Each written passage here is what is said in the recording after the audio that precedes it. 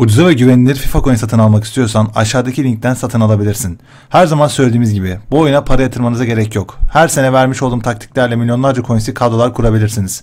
Coins almak her zaman en son seçiminiz olsun. Cümleten selamünaleyküm kardeşlerim. Bugün sizlerle birlikte yepyeni bir video ile tekrardan birlikteyim arkadaşlar. Öncelikle 50 bin abone olduk arkadaşlar. Hepinize çok ama çok teşekkür ederim. Emek verdik. Sıfır reklam. Biliyorsunuz kanalda reklam da açık değil.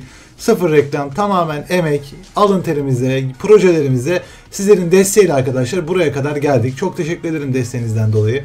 Desteğinizi devam ettirirseniz beni çok mutlu edersiniz sevgili arkadaşlar.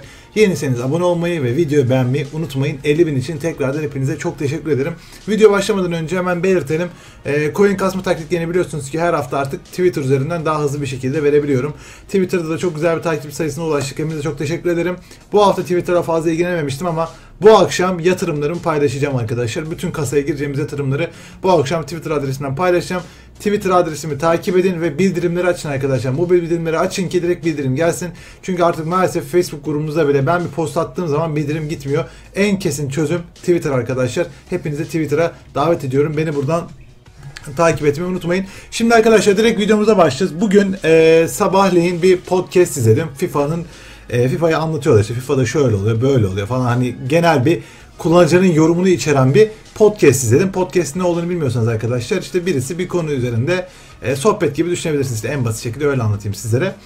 Şimdi burada çok enteresan olaylar var arkadaşlar. Size şu şekilde göstermek istiyorum. Bakın burada e, size FIFA'ya gelerek burada kupalar kısmından insanların FIFA'da neler yaptığını görebiliyorsunuz. Burada çok çok çok enteresan istatistikler bulunmakta arkadaşlar. Bakın şöyle aşağıya doğru indikçe zaten sizlerle daha net bir şekilde göreceksiniz arkadaşlar. Bakın mesela oyun zamanı yani bir sürü hani görmüş olduğunuz gibi burada insanlar oyunda nereleri tamamlamış, neler yapmış bunları görebileceğimiz bir kısım var. Evet sevgili dostlar ben daha net görünmek için birazcık ekrana yaklaştım. Şimdi buradan baktığınız zaman FIFA Ultimate Team Squad Battles'da bir maç kazan. Yani Squad Battle modunda bir maç kazanın arkadaşlar. Böyle bir görev var ve oyunun sadece %25'i bu görev yapmış. Yani FIFA 19'u oynayan kitlenin sadece %25'i bu görev tamamlamış. Yani %25 bir maç kazanmış arkadaşlar. Oynamış şey kazanmış. Evet, artık hani oynayıp kazanamayan da vardır büyük ihtimalle. E, FIFA Ultimate herhangi bir oyun modunda 20 maç yap. Bakın bu çok enteresan abi. 20 maç yapın. Yüzdesi %26. Yani oyunu satın alan insanların sadece %26'sı Ultimate Team'de 20 tane maç yapmış. Yani buradan aslında biz şunu anlayabiliriz arkadaşlar. Biz Ultimate Team'i yani çok gözümüze büyütüyoruz.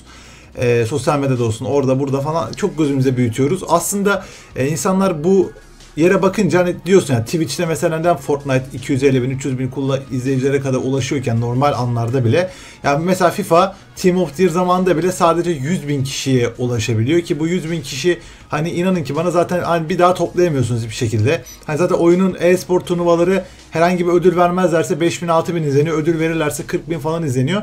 Hani demek ki aslında biz buradan şunu anlamamız lazım. Yani biz FUT'u sandığımız kadar dünyada çok oynayıcısı yok. Diğer oyunlara baz alarak da bunu söylüyorum. Fortnite, PUBG gibi oyunları baz alırsak FIFA'nın buradaki yüzdelik dilimi demek ki o kadar çok düşük ki arkadaşlar buradan bunu anlayabiliyoruz. Yani Ultimate Team'e oynayan kişi 20 maç yapan insan sayısı %26. Ya bu gerçekten de ya inanılmaz bir oran arkadaşlar. Biz hani diyoruz ya bu hani Ultimate Team'de kariyer milletini nasıl izliyor falan filan bilmem ne. Demek ki insanlar gerçekten kariyer, e, ne bileyim Alexander mesela Alexander bayağı oynayan. O tarz şeyleri de oynayanlar bayağı varmış. E, EA Sports demek ki hani oyunda Ultimate Team'i sürekli ağlıyoruz ya işte güncelleme bilmem ne falan filan. Demek ki adamların gerçekten de hani bu kadar ufak bir kesimi mutlu etmek için uğraşmıyorlar. E, benim kendi görüşüm bu şekilde. Çünkü artık adamlar koy vermiş durumda belli. Hani bizim ben çok yani şok oldum gerçekten. Yani 20 maçı yapan insan sayısının 125 olması bence trajikomik bir olay arkadaşlar. Çünkü Ultimate Team FIFA'nın e, temel marketing dediğimiz kısmı ve insanların 20 maç bile yapmamış olması gerçekten de çok enteresan arkadaşlar. Bir haftalık görev tamamla var. Bunları zaten geçiyoruz. Bunlar e, yani oyunun oynanabilirliğiyle alakası yok. Oyunu açtığınız bile açtığınızda bile zaten size bir şeyler veriyor. Mesela FIFA Ultimate Team e, Division Rivals'a 4. klasmanda yüksel yüzde kaç yazıyor? Yüzde 3.5. Yani bakın sadece oyunun yüzde 3.5'lik kısmı Division 4'ü geçebilmiş. Şu anda bu videoyu izleyen çoğu takipçimiz Division 2, Division 1, Division 3 yani klasman 3'e kadar çıkmışsınızdır büyük ihtimalle arkadaşlar. Görmüş olduğunuz gibi yani oyunun sadece yüzde 3'lük bir kısmı buraya erişebilmiş. Aynı zamanda FIFA Ultimate'inde bir görevleri tamamladı. Bunları zaten geçiyoruz arkadaşlar. Ultimate Team'de özel taktiğini oluştur %21 arkadaşlar bakın yani özel taktik dediğimiz olay ne? Bu custom taktik olayı. Foot Champions'a girerken işte genişliği arttır, şunu arttır, bunu azalt. Oyunun sadece %20, %20'lik kısmı bunu başarmış. %26'lık bir kısmın sadece 20 maç yaptığını farz edersek bu oran bence büyük bir oran arkadaşlar gerçekten de. Ee, FIFA Ultimate Team Champion hafta sonu ligine ilk kez katılma hakkı kazan %14. Yani oyunun sadece %14'ü Foot Champions'a katılma hakkı kazanmış arkadaşlar. Bir defa ve bu %14'ün yüzde kaçı oynuyor artık onu gerçekten bilmiyorum. Bence oyunun gerçekten de %8-9 hani o civarlarda bir kitle her haftanın her hafta Foot Champs oynadığını düşünüyorum. Yani bu veriler gerçekten çok enteresan. Burada şunu da düşünmek lazım. Tabi o da bir etken. Ee, biliyorsunuz ki çok fazla SBC hesapları var. Yani insanlar yeni hesap açıp kadro kurma görevlerini tekrardan yapıyor. Biliyorsunuz bunu FIFA 17'de ilk biz aktarmıştık arkadaşlar. Ondan sonra bayağı popüler oldu. Ee, insanlar squad e, battle diyorum, squad battle diyorum. Kadro kurma görevleri ne yani SBC dediğimiz olayı e, yaparak coin kasıyorlar. Bunlar da tabii farklı hesaplara dönüşüyor. Yani mesela bir insanın 10 tane hesabı olsa tabii her insan 10 tane yok ama yani çoğu kitle özellikle FIFA Points'in pahalı olduğu ülkelerde Türkiye işte ya da bizim gibi ekonomisi daha düşük olan daha düşük seviyede olan ülkelerde bu kadro kurma görevi olayı çok yapılıyor. Yani zaten İngiltere'deki adam 80-90 pound vererek 12 bini çekebiliyor. Yani orada çok fazla bir kadro kurma görevi yapan insan olacağını pek düşünmüyorum arkadaşlar. Hatta kadro kurma görevini Türklerden başka çok yapan olduğunu da pek düşünmüyorum sevgili dostlar. Yani gerçekten enteresan bir oran. E, oran. E, Ultimate Team'de 10 kadro kurma görevini tamamlanan oranı %22.1 yani herkes arkadaşlar zaten ilk görevde 3 tane yaptırıyor sizlere. Onu çıkarırsanız kalan 7 tane daha herkes bir görevini yapmış görmüş olduğunuz gibi. Oranlar gerçekten çok enteresan arkadaşlar. Yani Rivals'da tüm sıra maçlarını tamamla bilmem ne falan. Buradaki en kritik oran arkadaşlar şu. Biz hani her zaman gözümüzde büyütüyoruz ya. Neredeydi o? Eee bir dakika bulacağım onu. Çok enteresan. Ya burada Foot Champions oranı arkadaşlar en enteresanı. Ve o konu hakkında şimdi sizlerle birlikte bir konuşmak istiyorum. Haftalık görevi tamamla var. Ultimate Team'de abi görev tamam. Squad Battle. Ultimate Team'deki özel takımda bunlar hakkında konuştuk. Evet bu hafta sonu ligine en az bir kere katılma hakkı. Şimdi biz diyoruz ya abi serverlar çok kötü. Ee, işte oyunda lag var. Şu oyuncuyla oynanmıyor. Bu oyuncuyla oynanmıyor. Yani zaten sadece oyunun %8'lik bir kısmı, %9'luk bir kısmı Foot Champions oynuyorsa e-sports'un bu konuyu düzeltmemesi çok doğal. Neden diyeceksiniz biz şimdi arkadaşlar? Çünkü %8, %9'luk bir kitle gerçekten inanılmaz az bir kitle. Hani burada kimse kimseyi kandırmasın. Şurada 100 kişi olsun, 10 kişi bir şey sesin, 90 kişinin umurunda olmasın. Bunu düzeltme düzeltmeyebilirsin. Ki çoğu firmada zaten bunu asla düzeltmez. Bu kadar düşük oranlarda Foot Champions oynanmışsa bu sene Gerçekten EA Sports'un burada bir değişiklik yapmaması bir şey demiyorum. Çünkü adamlara bir getirisi yok. Maalesef ki arkadaşlar büyük firmalar e, çoğu zaman böyle çalışıyor. Yani para kaynağı Ultimate Team evet ama adam şunu kendine soruyor. Zaten bu moda oynayan insan sayısı %20 misal veriyorum. %20'lik bir kesim var. E, para yatıran kesim yüzde 10 desen e, yarı yarıdır büyük ihtimal. %10'luk bir kesim para yatırıyor desen.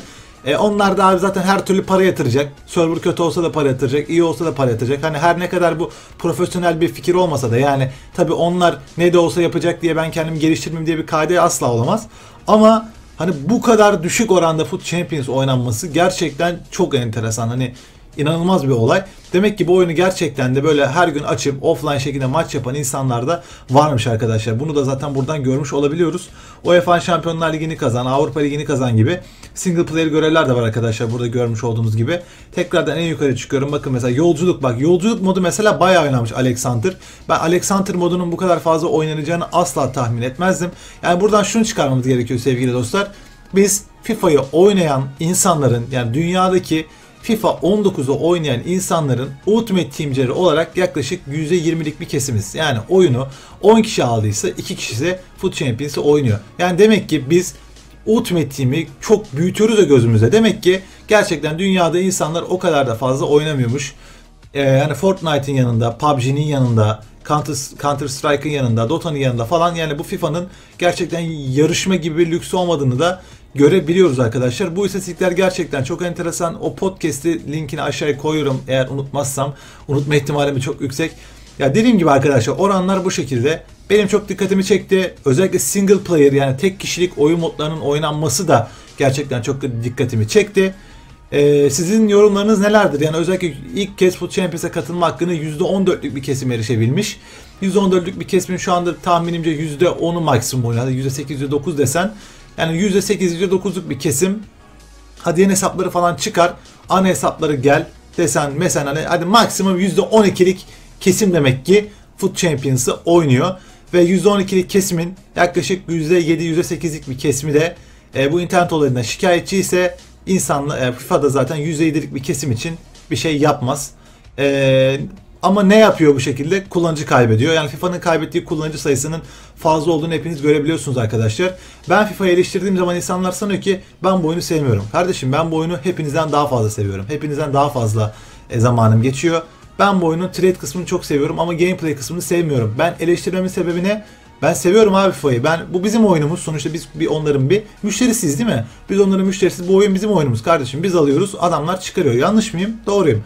Benim istediğim şu. insanlar keyif alsın. Yani FIFA 14'te FIFA 15'te keyif alıyorken ondan 5 sene sonra daha güzel teknolojilerin, daha güzel donanım, yazılımların olduğu bir zamanda daha kötü bir oyunu çıkmasını ben eleştiriyorum.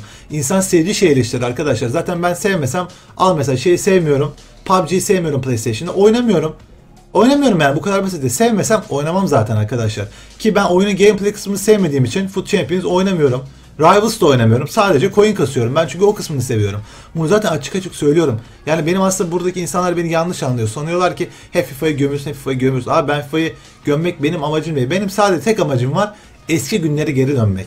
Yani oyunu açtığım zaman yeni kadrolar görmek. Her maça girdiğim zaman sürekli e, ne bileyim işte Kante, e, Ramos, yani hep fix anladınız mı arkadaşlar? Hele oyunun başında Fred, bilmem ne. Her kadroda Van Dijk. Hani bunları görmeyelim diyorum. Geçen seneki FIFA'lardaki gibi farklı alternatifler olsun. Yani adam illa Ronaldo'yu aramasın. Robben'le de oynayabiliyordu mesela önceden. Yine şimdi başka bir X bir oyuncuyla da oynayabilsin. Benim istediğim şey bu. Ben yoksa bu yani dediğim gibi benim bundan bir şeyim yok. Ben sizi takipçilerimi de bu oyun sayesinde kazandım. Hani zaten bu oyunu öyle bir şey yapma gibi bir şansım yok. Sadece oyunu yapan firmanın hatalarını ben eleştiriyorum. Kimse beni yanlış anlamasın bu konuda. E, FIFA 17 ve 18'i sildiğim için bakamıyorum arkadaşlar. Sizler de FIFA 17 ve 18'de de bu tarz kupalar varsa bana bunları iletebilirseniz hepinize çok teşekkür ederim sevgili dostlar. Yorum kısmında bekliyorum. Kendi görüşlerinizi de yazmanızı bekliyorum. Ama ben şunu anladım ki bizim sandığımız kadar büyük bir kitlesi yokmuş FIFA'nın arkadaşlar. Ben buradan e, bunu anlayabiliyorum. Fortnite mesela görüyorsunuz. Burada şeyler gözüküyor mu şu anda? Dur bakayım. Eee Yok onlar gözüküyor. Eskiden burada bir özellik vardı arkadaşlar. Kimin ne kadar beğendiği mi ne gözüküyordu. Şu anda oyunları galiba kaldırmışlar. Ben videodan sonra bir tekrardan bakarım. Şu anda bendeki oyunlar görmüş olduğunuz gibi bu şekilde arkadaşlar. Hitman'i mutlaka oynayın. PES 19'u bana e, hediye olarak PES göndermişti zaten. Oradan var. Batman'lerim var. Bunun sonuna kadar geldim. NBA var. FIFA var. Fortnite var. Bu kadar yani fazla da oyun oynayacak zamanım da yok zaten arkadaşlar. E, olaylar bu şekilde. PSN adresim şu anda ekrandaki adresimdir. Benim PSN adresimi sizlerden coin ya da hesap isteyen arkadaşlar oluyormuş. Bunlar asla ben değilim. Ben sizden ne coin ne hesap isterim arkadaşlar. Aklınızda bulunsun. Videoyu izlediğiniz için çok teşekkür ederim. 50 bin abone için tekrardan çok sağ olun. Ee, video hoşunuza gittiyse güzel bir sohbet olduysa beğenmeyi paylaşmayı yeniseniz de abone olmayı unutmayın. Allah'a emanet olun ve hoşçakalın.